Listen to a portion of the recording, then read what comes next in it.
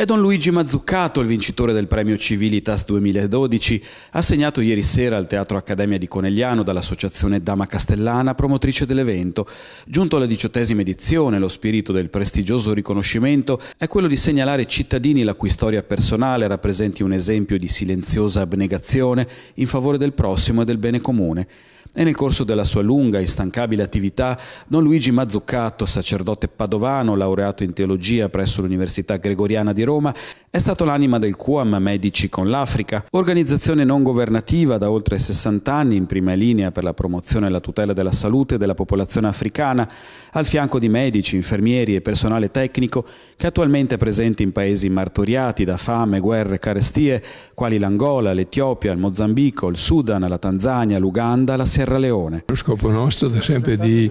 cercare di dare un contributo per i problemi seri, gravi che ancora ci sono nel piano della salute in questi paesi del terzo mondo, soprattutto in Africa.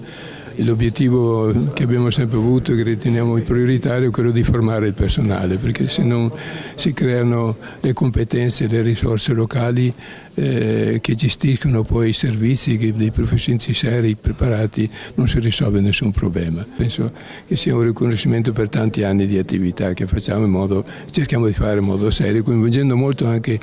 per esempio la comunità qui, eh, qui i nostri volontari, quel gruppo di appoggio che abbiamo molto attivo anche qui a Conegliano.